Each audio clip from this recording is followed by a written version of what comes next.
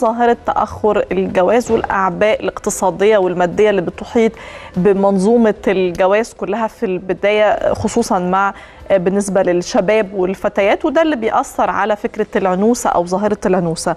اسمحوا لي أرحب مع حضراتكم بضيوفي اللي منورنا في الاستوديو الأستاذة نهى الجندي المحامية المتخصصة في شؤون المرأة. أهلا وسهلا أهلاً بحضرتك. وسهلاً. ودكتور شريف عوض أستاذ علم الاجتماع بجامعة القاهرة منورنا. أهلا بحضرتك فعلا خليني أبدأ دايما ladies first مع الأستاذة نهى.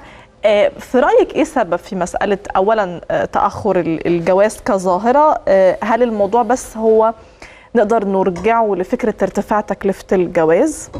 بصي هو في عدة عوامل أدت إلى كده مش هنحصرها كده لأن أنا خاصة في المحاكم المصرية اللي بقت مليئة بدعاوى الطلاق والخلع والحاجات دي الشاب من ده لما بيجي يقدم على الزواج آه، مثلا يلاقي صاحبه ابن عمه قريبه أخوه حالات الطلاق اللي بتحصل قدامه يقول لك طب ما أنا لو رحت اتقدمت لواحده ما أنا ممكن يكون مصيري زي مصير قريبي.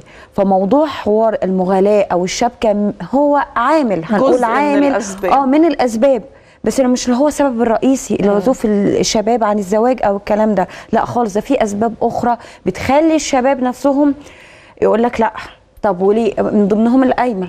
يعني مثلا يجي وا- مثلا يجي واحد يقول لك أنا هاجي أمضي على قائمه منقولات ما أنا مصري السجن. إيه إيه اللي دخلني في ال- في ال- في, ال- في أيوة. الموضوع ده كله من أوله آه، لآخره؟ بالظبط. اللي هو خاصة إحنا زي ما أنا قلت لحضرتك الأجيال بتاعت زمان غير دلوقتي. إحنا دلوقتي أصلا الأجيال بقت متربية على عدم الفهم والإدراك يعني إيه حياة زوجية. بقت البنت خلاص أنا مفكرة الحياة الزوجية حياة وردية آه الولد نفس الكلام إن أنا هنهزر أنا ومراتي ما خدريش مش لا ده بيتصدموا بالحياة بقى؟ فيديوهات الفيسبوك. دي منتشرة. آه بالظبط بالمفرمة. فهو ممكن برضو هنرجع برضو موضوع المغالاه في المهور. ده حقيقي فعلا.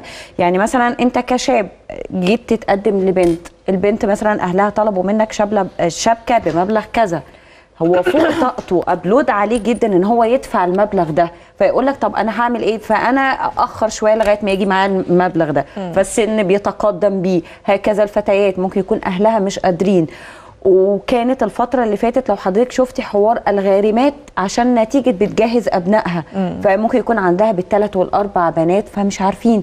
فنقول ممكن العامل الاقتصادي سبب من ضمن الأسباب اللي بتخلي حوار الجواز بقى يعني موضوع صعب. آه.